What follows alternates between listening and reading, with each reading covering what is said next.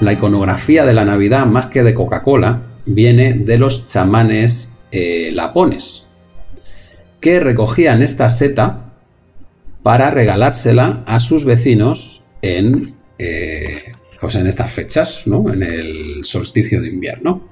Entonces recogían las setas que fundamentalmente crecen pues, en las raíces de los pinos y las ponían a secar colgando de los pinos o en calcetines al lado de las chimeneas.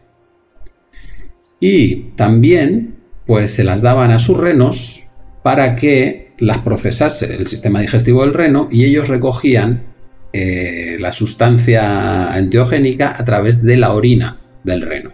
Pero os podéis imaginar el viaje que se pegaba el reno, que empezaba a dar saltos, que aquello era alucinante, porque unos los renos pueden medir hasta 3 metros de altura. O sea que imaginaros un bicho de 3 metros de altura pegando botes, parece que vuela.